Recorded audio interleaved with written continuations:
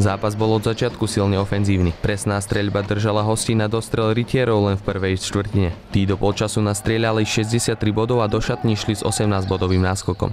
Po prestávke sa hra vyrovnala, no novovešťanie nedovolili žlto-čierny výrazný tlak. Zápas tak dobojovali do víťazného konca a výsledkom 103-88 si upevnili prvé miesto v extraligovej tabuľke. Myslím si, že je to nejaký reálny obraz, ako čo sa týka sily dvoch tímov. Bol to dosť útočný basketbal, čo sa možno ľuďom určite oveľa viac páči ako obranný basketbal, keďže keď padajú koše, je tu lepšia atmosféra, žije lavička, žije, žije hala. Prvý, prvý polčas sme dali, myslím, že 60 bodov, čo sa malo kedy stáva a to svedčí o tom, že sme hrali veľmi útočne.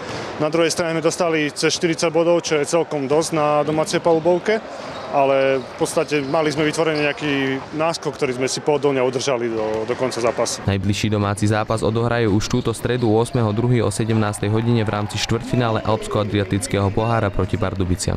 Začíname, ako ste povedali, z 0-14, čo nie je niečo, čo by sme boli z toho radi, ale určite sa ideme pobiť o to, že by sme, že by sme to otočili, keď sa dá. Proste nejdeme len odohrať a vzdať sa, nie. Pôjdeme zabojovať a, a uvidíme, čo nám to doniesie.